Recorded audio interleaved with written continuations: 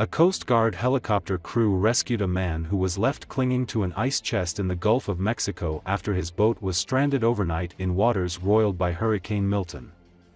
The man's fishing vessel had been disabled Monday off Madeira Beach, Florida, and he was working to repair it Wednesday, hours before the hurricane made landfall, said Coast Guard Press Officer Nicole Groll. The man, who was not identified, was able to radio the Coast Guard station in nearby St. Petersburg before contact was lost about 6.45 p.m. But on Thursday searchers located the man about 30 miles off Longboat Key, Florida, clinging to an open cooler chest, a video clip provided by the Coast Guard shows. In the video, a Coast Guard diver was lowered from a helicopter and swam to the man to pick him up. The man was taken to Tampa General Hospital for medical treatment, the Coast Guard said. The fate of his boat was unknown. A hospital spokesperson was not able to provide a condition without the man's name.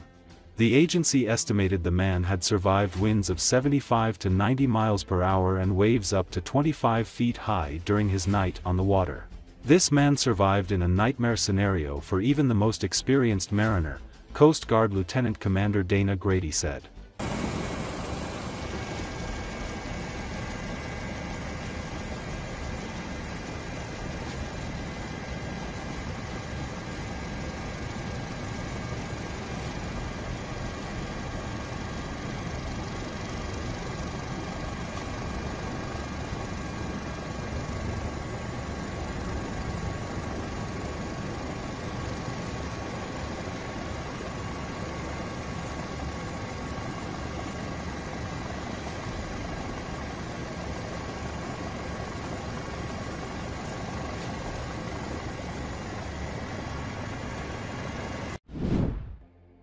French President Emmanuel Macron inspected the training of Ukrainian troops at a military camp in eastern France on Wednesday, a show of support for Ukraine as its Western allies consider a victory plan championed by Ukrainian President Volodymyr Zelensky.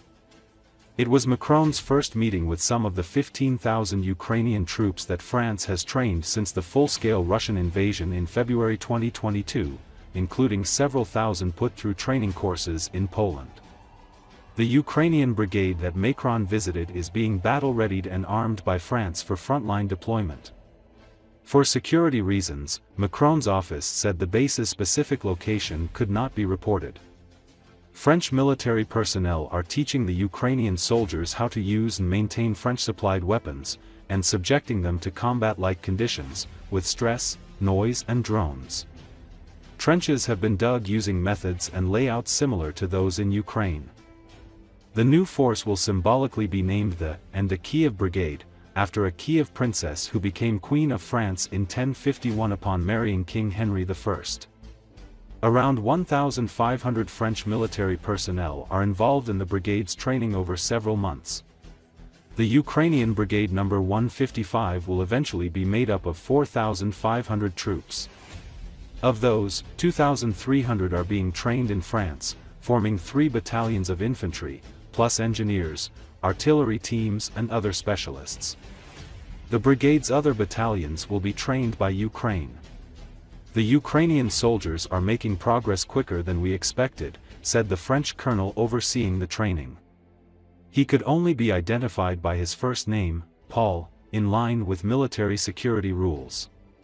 Macron's office said the brigade will get 128 armored troop carriers, 18 Caesar artillery pieces and 18 AMX light tanks, plus Milan anti-tank missiles and heavy trucks.